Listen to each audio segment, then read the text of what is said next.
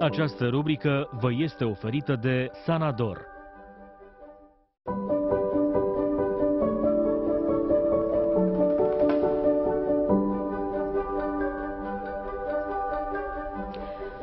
După vârsta de 45-50 de ani este recomandat examenul intestinului gros. Colonoscopia sau endoscopia digestivă inferioară ne ajută să prevenim și să depistăm apariția unor boli grave.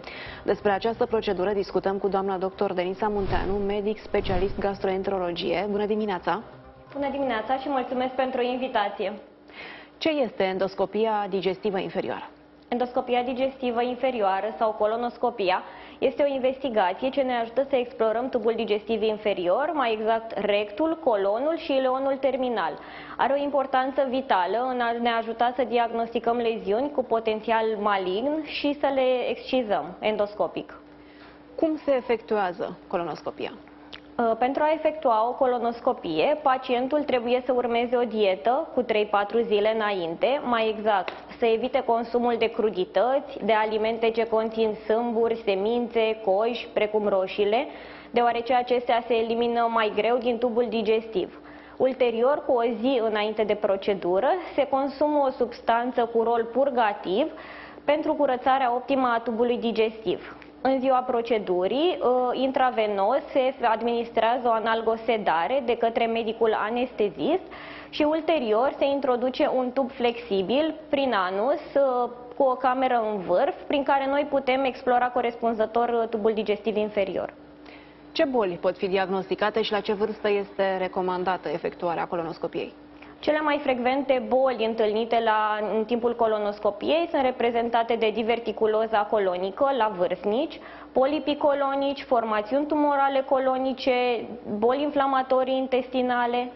Ă, se recomandă ca prima colonoscopie să fie efectuată la vârsta de 45 de ani. Ă, evident, dacă pacientul nu prezintă simptome la vârste mai tinere. Ulterior, e important de menționat, dacă cumva am avut în familie o rudă de gradul întâi cu un cancer colorectal până în 50 de ani, atunci se recomandă prima colonoscopie să fie efectuată la vârsta de 40 de ani sau cu 10 ani mai devreme de vârsta la care a fost diagnosticată ruda de gradul întâi. Cât de des este recomandată efectuarea unei colonoscopii? Uh, frecvența colonoscopiilor se stabilește în funcție de rezultatul anatomopatologic al polipului, după ce acesta este trimis la către biopsie, și de numărul și dimensiunea polipilor. Deci este o decizie individuală. Se pot realiza și manevre terapeutice în timpul colonoscopiei?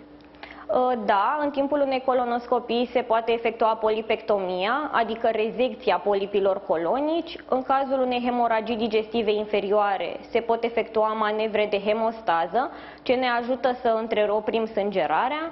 De asemenea, sunt pacienți cu stenoze colonice la care se poate efectua dilatare. Doamna doctor, vă mulțumesc pentru intervenția în direct la Digi Matinal. Mulțumesc și eu, la revedere!